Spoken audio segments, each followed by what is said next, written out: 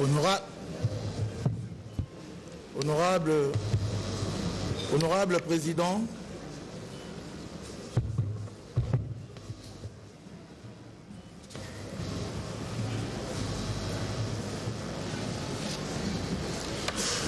Honorable Président de l'Assemblée provinciale de Kinshasa, honorables membres du Bureau, honorables députés provinciaux, j'ai l'honneur de prendre la parole ce jour devant votre auguste Assemblée pour lui présenter conformément aux dispositions constitutionnelles et légales le programme d'action du gouvernement provincial afin d'en obtenir votre approbation. Daignez me permettre, honorables députés, de m'acquitter d'un devoir sacré avant d'entrer dans les vifs du sujet, celui de rendre grâce à Dieu de qui nous tenons le souffle de vie et qui guide constamment nos pas. Ma gratitude va également à l'endroit de son Excellence, M. Félix Antoine Tshisekedi Chilombo, président de la République, chef de l'État, qui, par son ordonnance d'investiture, a bien voulu confirmer la confiance que votre Assemblée a placée en ma modeste personne en m'élisant gouverneur de la ville de Kinshasa, avec comme colistier le vice-gouverneur, M. Edi Yeli Moulangi. Je ne saurais clore ce moment de remerciement sans exprimer ma gratitude, ma vive reconnaissance à vous, honorables députés, pour la confiance que vous nous avez accordée. Nous allons nous en montrer dignes de la meilleure façon qui soit en tenant des engagements contenus dans notre programme d'action. Honorable Président, honorables députés, le programme j'ai l'honneur de vous présenter ce jour est en phase avec la volonté politique nationale qui tire sa source des engagements majeurs ainsi que des trois initiatives présidentielles prioritaires contenues dans le programme 2024-2028 du gouvernement central. À cet égard, notre programme dénommé Kinshasa et Zobonga est structuré en cinq chapitres qui se présentent de la manière suivante. 1. État des lieux. 2. Orientation stratégique. 3. Axe de gouvernance. Cadre. 4. Cadre macroéconomique et financement. 5. Mécanisme de mise en œuvre et suivi évaluation. Honorable Président, honorables députés, concernant l'état des lieux, la ville de Kinshasa, capitale et siège d'institution de la République, fait face à de nombreux problèmes suivants. L'emploi, surtout des jeunes, le pouvoir d'achat, la sécurité, l'environnement, la voirie et la mobilité, la gouvernance financière et administrative, l'aménagement, l'urbanisme et l'habitat, l'éducation et la santé, les infrastructures de base relatives au transport, à l'eau et à l'électricité, l'enclavement de la ville, l'économie informelle. Honorable Président, honorables députés, sur le plan de l'emploi, il faut noter que Kinshasa abrite autour de 20 millions de vies humaines, dont 50% constituent la population non active, représentée par 47% d'enfants et jeunes, 3% des personnes d'un âge passif allant de 60 ans à plus, sur les 50% de la population active. 15% seulement travaillent. Notre défi est de donner du travail aux 85% restants, soit près de 8 millions de Quinois. À ces millions, il faut ajouter chaque année les nouveaux jeunes qui arrivent sur le marché d'emploi.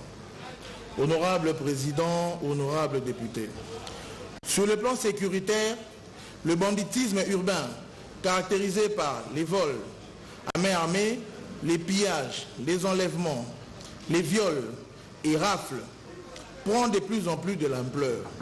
Cette situation découle notamment d'une couverture sécuritaire déficiente, de la sédentarisation des agents de l'ordre, du trafic d'armes et munitions, de l'impunité des malfaiteurs mis à la disposition des justices, du mauvais encadrement et de la démotivation des agents de l'ordre. Honorable Président, honorables députés, en matière de salubrité, il est produit dans la ville de Kinshasa plus de 12 000 tonnes de déchets solides par jour provenant principalement de ménages, des administrations, des commerces, des particuliers, ainsi que des industries. Depuis près d'une année, ces déchets ne sont plus évacués. Ainsi, un petit calcul nous renseigne que nous avons près de 4 320 000 tonnes de déchets disséminés à travers nos 24 communes qui attendent d'être évacuées vers la décharge finale. Or, la ville actuellement n'a plus de décharge finale. Le centre d'enfouissement technique de Mpassa est fermé sur injonction du procureur général de la République de Kinshasa, Matete. Par ailleurs, le, profil, le profil environnemental de la ville de Kinshasa se caractérise entre autres par une insalubrité généralisée, des érosions non maîtrisées, une mauvaise gestion des eaux pluviales et des eaux usées, une faible capacité d'intervention des services urbains, une déforestation et la disparition des espaces verts, un mauvais aménagement de l'espace, une détérioration des conditions d'hygiène, la pollution de l'atmosphère et les nuisances sonores, le manque de prise de conscience dans les chefs de la population aux problèmes liés à l'assainissement.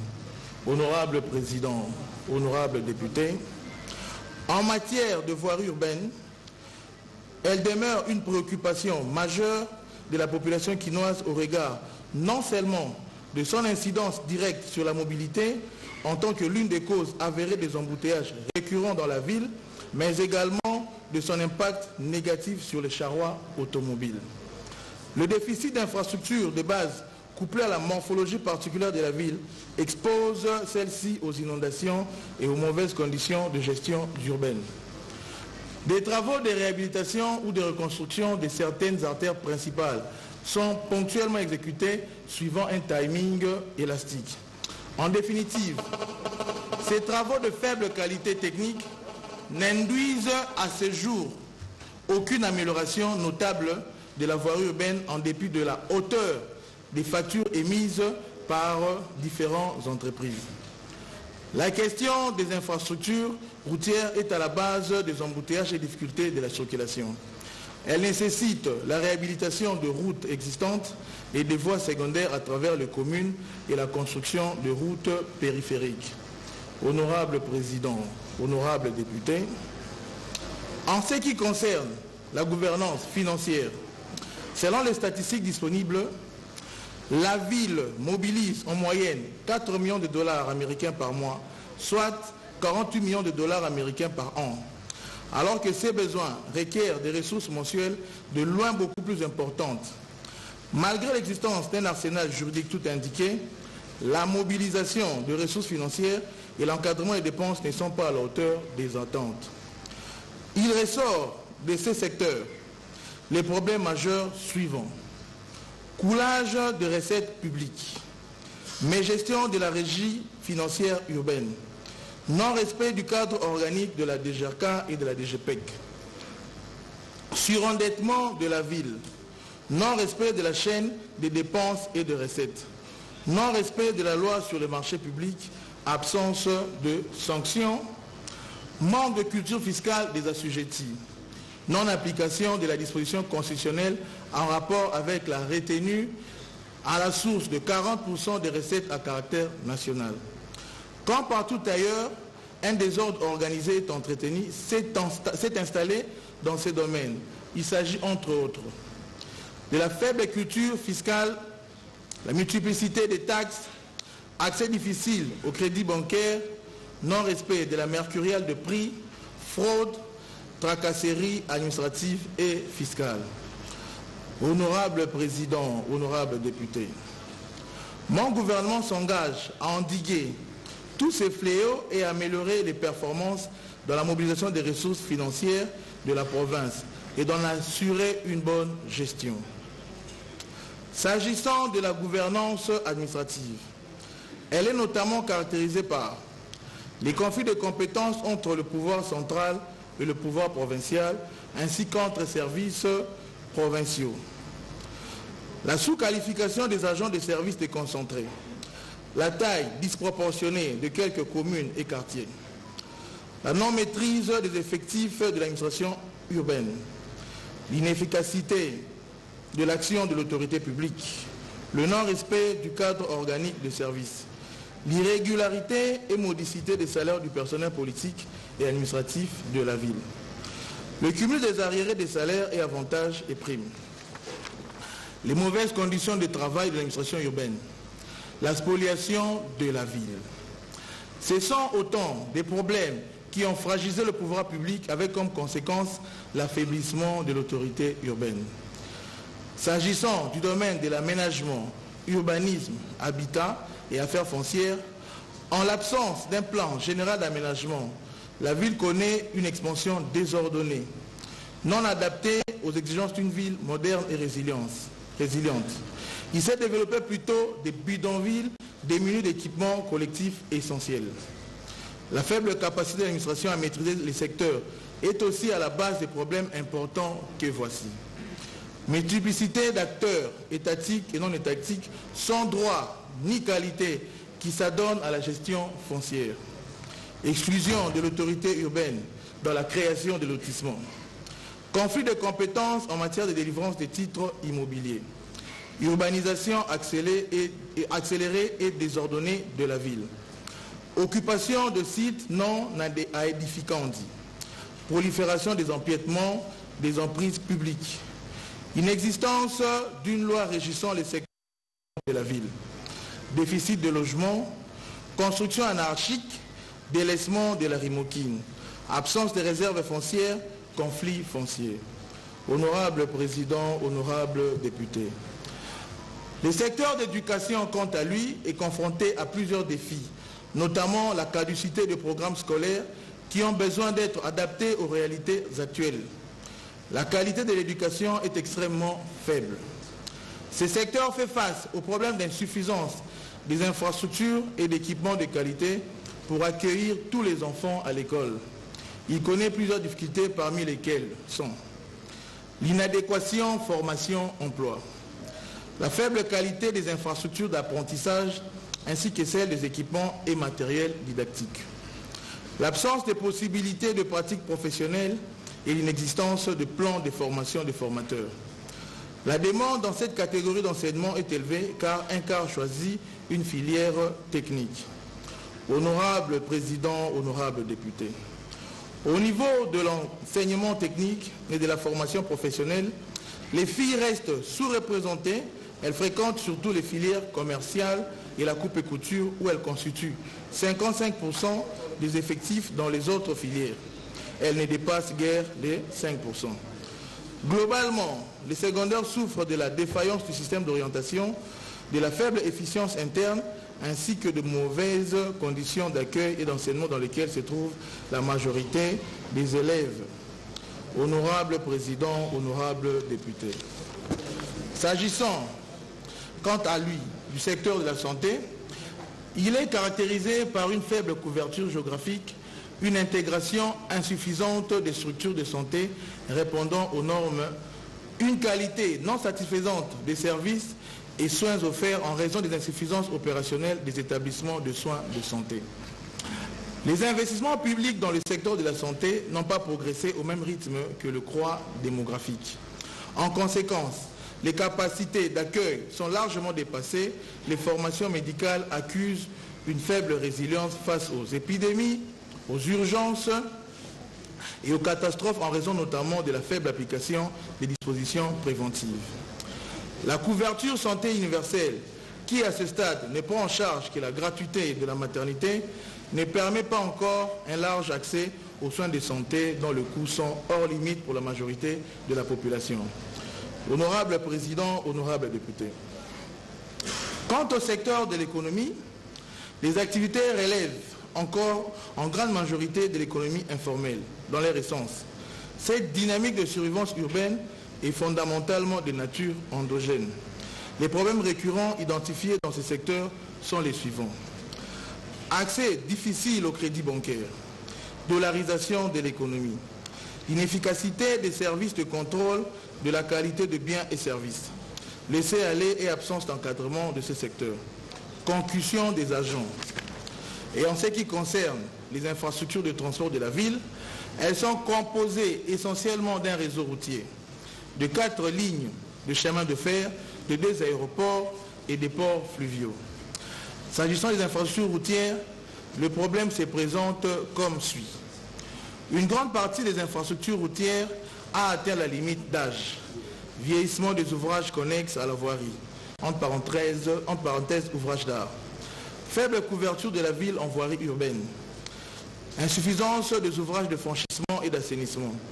Faible coordination entre le pouvoir central et le gouvernement provincial dans l'exécution des travaux de la voirie. Dans le domaine des infrastructures ferroviaires, les problèmes identifiés sont les suivants. Vétusté de la voie ferrée. Absence d'entretien et maintenance de la voie ferrée. Vieillissement de gares et ouvrages de franchissement. Carence d'équipement, empiètement des gares et emprise ferroviaire. Quant, quant au service des infrastructures fluviales, entre le pool Malébo et Maloukou, il existe plus de 80 ports fluviaux, essentiellement privés, aménagés ou pas pour l'embarquement et le débarquement de personnes et leurs biens. Ci-dessus, ci-dessous, les problèmes majeurs suivants. Vétusté des ouvrages portuaires, faible niveau d'entretien de quais et de la voie fluviale, tracasseries diverses, non-respect de la réglementation en matière érection anarchique de ports, absence d'aménagement des sites portuaires, insécurité grandissante. La cause principale à la base de tous ces problèmes est l'absence d'une planification adaptée aux exigences actuelles de la ville et le faible niveau d'investissement dans les infrastructures de transport. Honorable Président, honorable député. Face à ce tableau peu de la ville de Kinshasa, une thérapie de choc s'impose afin de la revêtir d'une nouvelle robe. Surnommée autrefois Kin Label, Poto notre ville est appelée à faire rêver aussi bien l'Afrique que le monde. Pour ce faire, la gouvernance de la ville doit changer de paradigme. Cela nécessite une réflexion profonde, la participation de tous les acteurs et une fois audacieuse pour une ville moderne, salubre et sécurisée. C'est pourquoi nous avons élaboré le programme de gouvernance dénommé Kinshasa et Zobonga, dont j'ai l'honneur de présenter ce jour.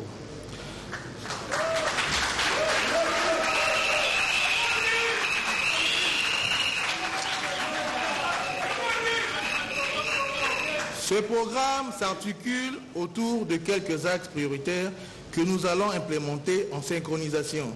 Ces axes mettent en avant-plan l'ensemble de projets structurants qui permettront de mieux apprécier notre gestion axée sur les résultats. Ce programme tient aussi compte des désidératas de la représentation provinciale contenue dans la plaquette qui vous a été distribuée en même temps que notre programme d'action quinquennal. Parmi ces axes, l'insécurité, la salubrité et la, la, mobilité ont un caractère urgent. À ce propos, une réponse immédiate s'impose avant d'aborder les autres axes de gouvernance. Honorable Président, honorable député, face aux défis qu'impose le diagnostic que je viens de vous présenter, la ville doit mobiliser beaucoup de ressources. Ainsi, le programme quinquennal que je compte mettre en œuvre s'élève globalement à 10 milliards 900 millions 432 451,19 dollars américains. Ainsi arrêtés, ces ressources sont programmées comme suit. 577,6 millions de dollars américains pour la tranche annuelle 2024. 878,6 millions de dollars américains pour la tranche annuelle 2025. 1,5 milliard de dollars américains pour la tranche annuelle 2026. 2,7 milliards de dollars américains pour la tranche annuelle 2027 et 5,08 milliards de dollars américains pour la tranche annuelle 2028. Les dépenses correspondantes de ce programme comprennent les investissements, le fonctionnement et les rémunérations. Elles sont ventilées comme ci-après. Les investissements de la ville, routes, voiries, écoles et logements sociaux, soit 2,7 milliards de dollars américains sont programmés comme suit. 0,146 milliards de dollars américains pour 2024, 0,364 milliards de dollars américains pour 2025, 0,729 milliards de dollars américains pour 2026, 0,729 milliards de dollars américains pour 2027 et 0,729 milliards de dollars américains pour 2028. Le fonctionnement et dépenses courantes de la ville, soit 3,5 milliards de dollars américains ventilés comme suit. 0,062 milliards de dollars américains pour l'année 2024, 0,104 milliards de dollars américains pour l'année 2025, 0,208 milliards de dollars américains pour l'année 2026, 0,208 milliards de dollars américains pour l'année 2027 et 0,416 milliards de dollars américains pour l'année 2028. Au point 3, les rémunérations et primes diverses de la ville, soit 4,6 milliards de dollars américains, sont répartis de la manière suivante. 0,3 milliards de dollars américains pour 2024, 0,7 milliards de dollars américains pour 2025, 0,7 milliards de dollars américains pour 2026, 1,4 milliard de dollars américains pour 2027 et 1,4 milliard de dollars américains pour 2028. Ces ressources proviennent de sources ci-après. Le recette propre de la ville, 8,336 milliards de dollars américains. La part de la ville sur les recettes à caractère national, 2,051 milliards de dollars américains. La part de la ville sur les ressources du fonds d'entretien 0,107 milliards de dollars américains. La part de la caisse de péréquation, 0,28 milliards de dollars américains. En ce qui concerne la mobilisation des ressources propres, votre gouvernement prévoit un scénario de doublement de recettes mobilisé de l'ordre de 2,5 milliards pour les deux premières années contre 2 pour les deux dernières années du quinquennal. Cette ambition de croissance des recettes propres au cours de cette mandature sera soutenue par un renforcement des mécanismes de collecte de recettes qui feront l'objet de profondes réformes et d'un suivi très serré au cours du quinquennat. Et s'agissant d'autres composantes des ressources, notre programme, de notre programme, les affectations ainsi renseignées résultent des prévisions et projections de chacune d'elles, en conformité avec la programmation des indicateurs du cadrage macroéconomique cible en cours du quinquennat. Sur les cinq ans, les ressources sont programmées comme suit. 1. Ressources propres de la ville réparties de la manière suivante. Pour 2024, 0,176 milliards de dollars américains. 2025, 0,441 milliards de dollars américains. 2026, 1,102 milliards de dollars américains. 2027, 2,205 milliards de dollars américains. 2028, 4,410 milliards de dollars américains. Au point 2, la part de la ville sur les recettes à caractère national en son tour se décline sur les 5 ans de la manière suivante. 2024, 0,354 milliards de dollars américains.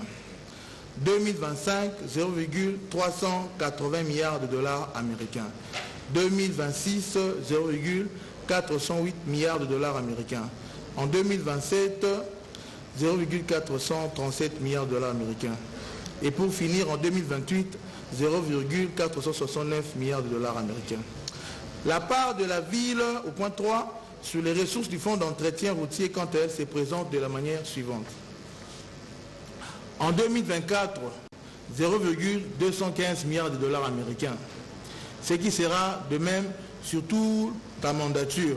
Donc le fonds attendu pour le financement phonaire s'élève à 0,215 milliards de dollars américains. Au point 4, la part de la ville sur les ressources de la Caisse nationale de péréquation se présente comme ceci. En 2024, 0,0501 milliards de dollars américains. En 2025, 0,0537 milliards de dollars américains. En 2026, 0,0576 milliards de dollars américains. En 2027, 0,0619 milliards de dollars américains. Et en 2028, 0,0664 milliards de dollars américains. Honorable Président, honorable député, comme vous pouvez vous en rendre compte, à travers la programmation des ressources du programme quinquennal, ainsi les dépenses correspondantes, mon gouvernement entend mener à bon port des réformes en matière de collecte des recettes propres. Par contre, s'agissant des investissements, pour élever les défis de la voirie, des routes, de la construction de logements sociaux, des écoles et l'élargissement de la ville de Kinshasa par la construction de routes secondaires reliant les territoires voisins, mon gouvernement compte sur l'appui du pouvoir central par voie de différents concours ainsi que des recettes exceptionnelles par voie de dons extérieurs et emprunts extérieurs pour élever tous ces défis. S'agissant de l'insécurité, un train de mesures va être pris aussitôt que mon gouvernement sera investi. Il sera notamment question de augmenter le nombre de patrouilles de police dans les zones à risque, renforcer les capacités d'intervention de la police, augmenter le nombre de sous-commissariats sociaux, en commençant par les points à haut risque, démanteler tous les réseaux des crimes organisés, inviter la population à éclairer les avenues en attendant l'installation d'un réseau d'éclairage public. Organiser un service très soutenu de renseignement avec des agents qualifiés. Honorable Président, honorable député. S'agissant de la salubrité, nous avons réfléchi à ressortir des projets structurants. Ainsi, en synergie avec le programme présidentiel Congo Propre, notre politique consistera en l'implémentation d'un système intégré de gestion et de traitement des déchets urbains, allant de la collecte à l'enfouissement technique et à la valorisation des déchets en vue de les convertir en énergie, en engrais, en pavés écologiques, etc. Nous proposons pour la gestion des déchets d'identifier et de créer des décharges et structures ci-après. Les décharges communales dont trois décharges pour les petites communes, Lingwala, Barumbu, Ngiringiri. Cinq décharges pour les communes moyennes, Gombe, Limete, Lemba, Ngaba et Makala. Dix décharges pour les grandes communes, Ngaliema, Mongafula, Kimbanseke. Les décharges finales en Sele, à Maluku, à Mongafula et à. Effectivement, les brigades d'assainissement communal qui vont concerner la gestion des décharges communales et curage de cours d'eau en les dotant de matériel et équipements pour chaque commune. D'ores et déjà, les actions urgentes suivantes seront menées. Réouvrir le centre d'enfouissement de Mpassa fermé depuis près de six mois. Lancer l'opération coup de poing pour une ville salubre et embellie. Éliminer toutes les décharges pirates.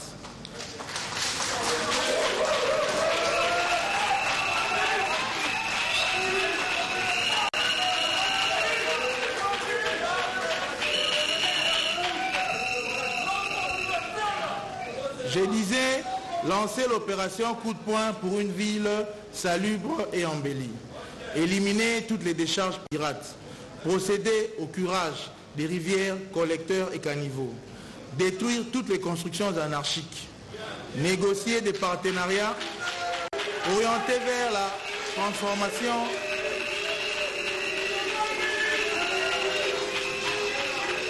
S'il vous plaît, s'il vous plaît, nous Négocier. Laissons le gouverneur travailler. Je vous en prie. Si vous continuez comme ça, ça va prendre beaucoup plus de temps que prévu. Merci Alors- pour la compréhension. Alors je disais donc, euh, dans les mesures urgentes, négocier des partenariats orientés vers la transformation et la valorisation des déchets, faire respecter la loi sur les nuisances sonores, mener des campagnes de sensibilisation sur la salubrité et faire une évaluation de tous les actes réglementaires régissant ces secteurs, réhabiliter des ouvrages de drainage, dégager tous les encombrements les sur les emprises publiques. Honorable Président, honorable député. S'agissant de la mobilité, les nouvelles modalités d'organisation de la circulation routière devront diminuer de manière significative les embouteillages dans la ville. En attendant notamment la construction et la modernisation des infrastructures routières et ferroviaires, en concertation avec tous les services de l'État intervenant dans le secteur, des règles strictes et des mesures contraignantes seront adoptées. Il s'agit notamment de du respect de prescrits de la code de route, du code de la route, de l'adoption des plans particuliers des circulations sur certaines artères en fonction du mouvement pendulaire de déplacement, de la gestion des intersections et carrefours, de la répression sans faille de toutes les infractions, de l'installation des signalisations, poteaux, feux, marquage au sol sur les principales artères, de l'aménagement des gares routières ainsi que des arrêts de bus et aires de stationnement pour les véhicules et motos, de la construction des parkings payants, de la création de ports secs à l'entrée de la ville pour des véhicules poids lourds, de placer des signalisations lumineuses alimentées par des panneaux solaires, de créer des fourrières en partenariat public-privé, de créer des voies réservées sur certaines artères pour la police, les ambulances et urgences, etc. De trouver des alternatives aux manifestations sur les artères principales, d'appliquer les règles de la circulation alternée sur certaines artères, d'instaurer les sens uniques sur certaines avenues, d'identifier tous les motocyclistes communément appelés Wewa, de rendre obligatoire le port d'un badge reprenant l'identité, la photo, la nature de la licence de motocycliste, de délivrer des licences d'exploitation intracommunales et transcommunales, de construire des aires de stationnement aménagées pour le motocycliste dit Wewa, de faire respecter le code de la route sens unique, conduite à gauche de la chaussée et non au milieu ou à droite, de tenir régulièrement des réunions avec les responsables des différentes associations, différentes associations sensibilisation, publication des statistiques les concernant. Honorable Président, honorable député, s'agissant de la voirie, afin de surmonter définitivement l'enlissement de la voirie urbaine dans son état quasi naturel et dégradation avancée, le gouvernement provincial va adopter une stratégie globale de la remise en état de la voirie de Kinshasa. En attendant d'obtenir le financement du plan directeur des transports urbains de Kinshasa, PDTK en sigle, couvrant l'ensemble du réseau routier, voici quelques actions réalisables à très court terme. Bien calibrer les ouvrages d'assainissement. Indiquer sur les poteaux de signalisation les charges à l'essieu autorisées. Faire la maintenance des ouvrages de franchissement et sensibiliser la population. Honorable Président, honorable député. S'agissant du secteur de la numérisation, il s'agira de faire du numérique un levier d'intégration, de bonne gouvernance, de croissance économique et du progrès social. L'e-gouvernance qui sera mise en place permettra aux citoyens de bénéficier de services publics de qualité, traçables, efficaces et efficients. En ce qui concerne le secteur de la gouvernance financière, plusieurs réformes seront élaborées qui porteront notamment sur la mobilisation de recettes, la rationalisation de dépenses, la gestion de la dette et les procédures en matière de passation des marchés publics et des PPP. À terme, la ville sera à même d'accroître significativement ses recettes courantes et de maintenir ses rythmes jusqu'en 2028. Tout ceci dans l'objectif de doter la ville de ressources sûres capables de financer la mise en œuvre de notre programme ambitieux. Honorable Président, honorable député. S'agissant du secteur de la gouvernance administrative, il a lieu de mettre fin au dysfonctionnement continu constaté au sein de l'administration urbaine par la mise en place des outils de contrôle de performance des agents évalués par le service rendu à la population quinoise. L'assainissement des structures et du personnel des services publics urbains est une nécessité pour mettre fin au dédoublement des structures et à la pléthore des agents au sein des dix services. La numérisation prônée si haut marque l'importance de cette réforme que nous estimons salutaire afin de restaurer la confiance des administrés vis-à-vis des agents de l'administration provinciale. Il sera ainsi mis en place une commission de pilotage de la réforme de l'administration publique urbaine pour, entre autres, sécuriser la carrière des agents publics. Honorable Président, honorable député. Quant au secteur de l'aménagement, urbanisme, habitat et affaires foncières, il sera élaboré un nouveau plan général d'aménagement de la ville incluant les schémas d'orientation stratégique de l'agglomération quinoise SOSAC en sigle et d'un plan cadastral publicitaire. Tous les espaces et emprises publiques seront placés sous la responsabilité d'une régie urbaine afin de donner une nouvelle et bonne image à ces lieux qui seront réservés à des activités d'intérêt public en lieu et place des marchés pirates, bars ou des charges sauvages. Nos bâtiments publics sont dans un état piteux, sans exagération. Le vice-gouverneur et moi, n'avons pas de bureau. Que dire de ministres, directeurs généraux et coordonnateurs des différentes structures de la ville? Voilà pourquoi tous les bâtiments publics seront réhabilités et pour faire simple, nous allons construire un nouvel immeuble du gouvernement provincial.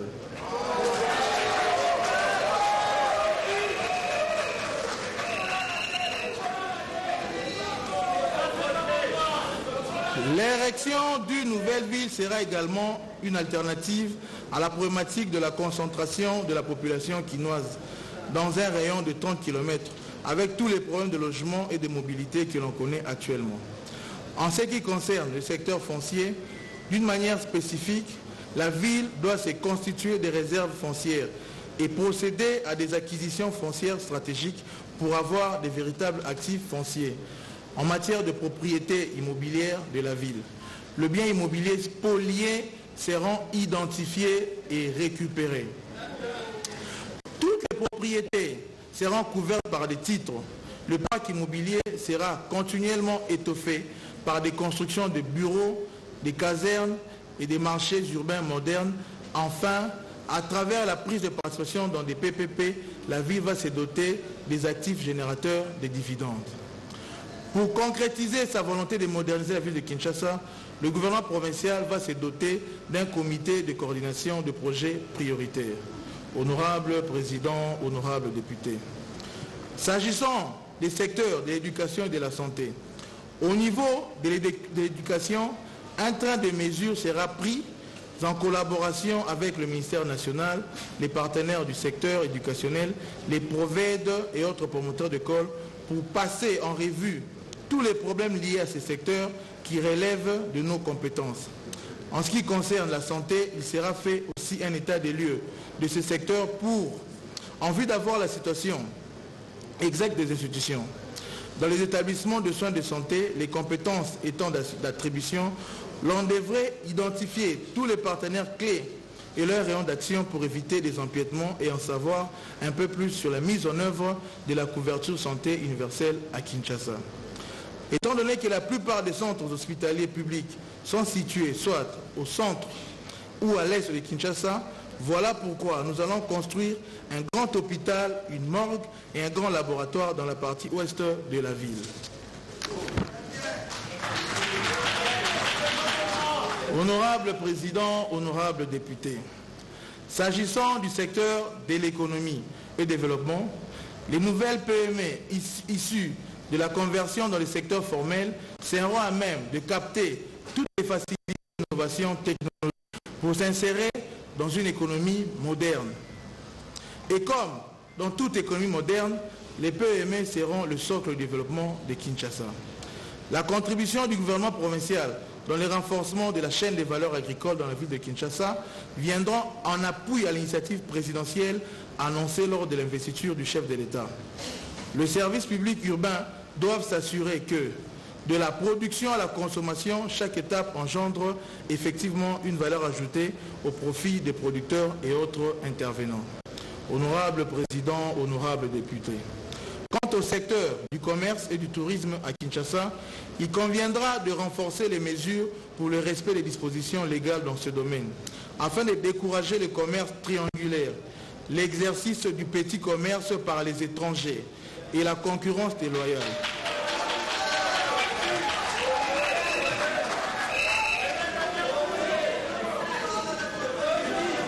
Nous disons donc, pour le secteur du commerce et du tourisme, il conviendra de renforcer les mesures pour le respect des dispositions légales dans ce domaine, afin de décourager le commerce triangulaire et l'exercice du petit commerce par les étrangers. La concurrence déloyale également.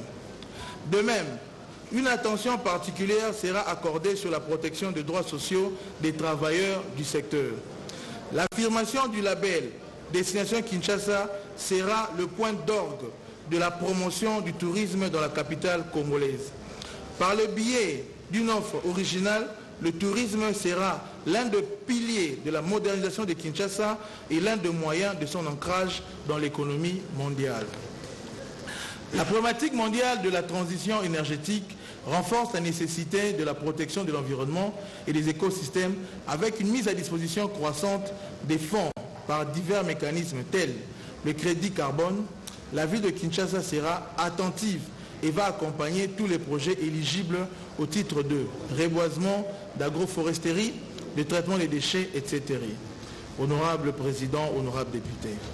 En ce qui concerne le Fonds social et les fonds d'investissement, il sera institué respectivement un fonds d'investissement pour financer certains projets de la ville et un fonds à caractère social pour soutenir les actions en faveur de couches sociales le moins nantis. Les cas des femmes maraîchères et celles exerçant les petits commerces ainsi que certains autres groupes vulnérables. Je tiens à souligner que je mesure à sa juste portée le mandat que la représentation provinciale m'a confié et je prends le ferme engagement de ne ménager aucun effort pour faire face aux exigences d'excellence qu'il comporte.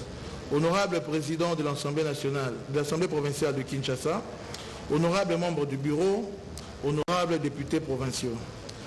Avant de clore mon propos, je me fais l'honneur de vous présenter les ministres provinciaux en les invitant chacun à l'appel de son nom à s'élever pour saluer votre auguste assemblée. Il s'agit de Madame Yvette Tembo Koulenfouka, ministre des Finances et Économie. Photographe, laissez cet espace vide, s'il vous plaît. S'il vous plaît.